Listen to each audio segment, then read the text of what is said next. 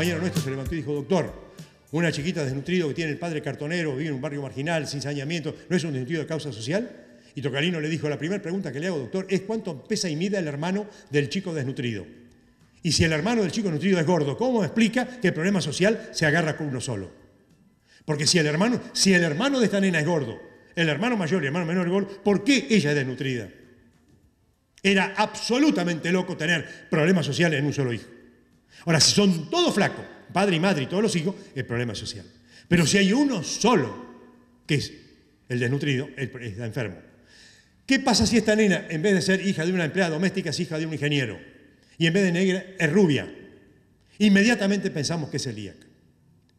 En cambio, si es una nena morochita y la madre viene humildemente, decimos, esta le falta olla. Entonces le pedimos a la municipalidad que nos dé una mano. Que en la mano que da la municipalidad un paquete de fideo. Y si la nena es celíaca, se muere. Hoy estamos en el centro de convenciones del municipio de Huerhuechú, llevando la tercera edición de Un Día Sin Gluten y en ese marco un curso también de actualización en enfermedad celíaca.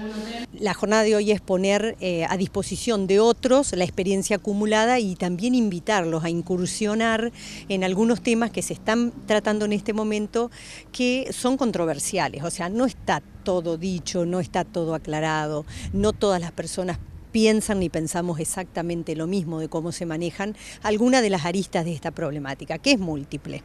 En realidad no solamente es la cuestión del diagnóstico y de la enfermedad, sino es el tratamiento y el tratamiento es la vida misma porque es la dieta, la vida social del celíaco que se está, se está manifestando acá como que una cosa este, que, con mucha demanda, ¿no es cierto?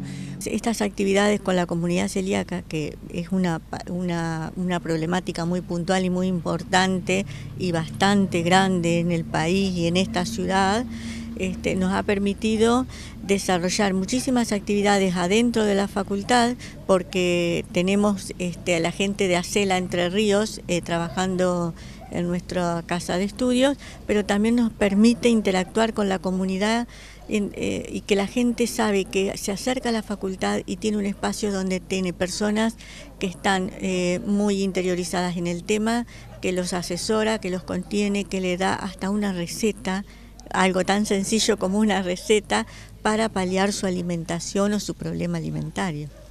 Este es un espacio que también se abre para que la gente que no está en contacto habitualmente con la universidad encuentre un espacio y encuentre la información que necesita y un intercambio de experiencias y de debate sobre esta problemática. Y el rol de la universidad es eso, transmitir el conocimiento, eh, este, que la gente se sienta que la universidad tiene las puertas abiertas y que puede venir, resolverles un problema desde lo académico, de lo científico, de desde lo práctico y bueno, en esa temática es que estamos con esta gente de, de Acela, Entre Ríos.